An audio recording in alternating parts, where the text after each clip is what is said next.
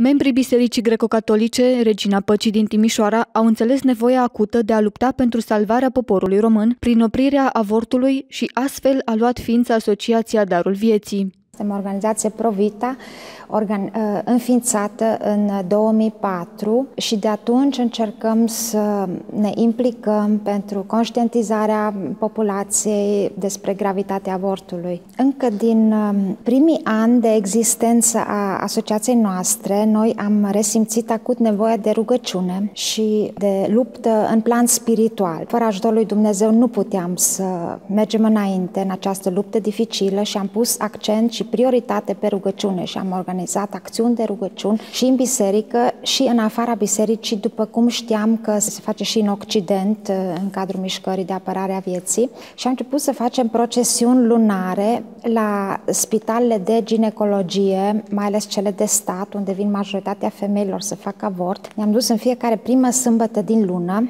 și uh, am stat acolo în fața uh, clinicii de avorturi vreo jumătate de oră și ne-am rugat, ne asista și jandarmeria de Timișoara, aveam aprobarea primăriei pentru aceste acțiuni. Voluntarii Asociației Darul Vieții au continuat cu credincioșie să militeze pentru salvarea vieții copiilor nenăscuți, iar odată cu trecerea timpului au început să vadă și o parte din rezultatele așteptate.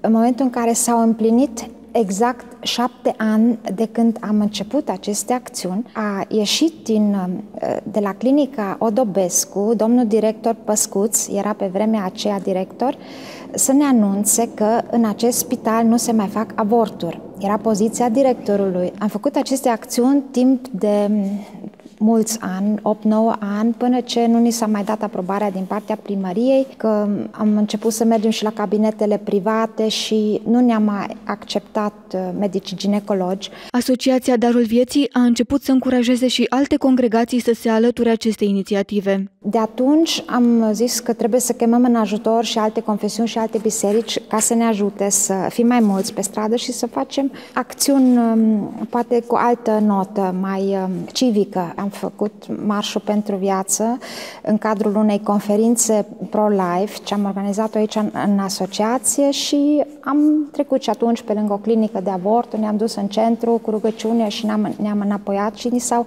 alăturat uh, alte biserici. După șase ani de activitate continuă a asociației, această inițiativă a început să primească feedback-uri și din restul țării. În 2010, pentru prima dată, auzind despre acțiunile noastre, ni s-a alăturat și Bucureștiul, care a zis că fac și ei în aceeași zi același lucru, tot în acel an și satul mare. Ni s-a alăturat și în ultima clipă a apărut și Fălticeniu. Deci eram patru uh, orașe care în aceeași zi am făcut prima acțiune la nivel național în 2010 și de atunci, în fiecare an se alătură mai multe orașe. Anul trecut deja au fost 40 de orașe care au făcut acest marș și anul acesta, la ora actuală, sunt 60 de orașe, plus două orașe în Republica Moldova. Deci ia amploare în fiecare an și se vede clar că este mâna lui Dumnezeu, că nu este un ordin de sus, este o acțiune spontană. Lumea nu întreabă cu ce mijloace să facă asta și uh, cu ce ajutoare și ei simt um, că trebuie făcut. Este o, o stare de necesitate în care se află poporul român, este gravă situația avortului și creștinii, mai ales și toate bisericile, sunt de acord că uh, trebuie să întreprindem ceva și trebuie să luăm atitudine și să scuturăm puțin um, atenția publicului și impactul de fiecare dată a fost din ce în ce mai mare și în, în societate, în lumea politică, în mass media.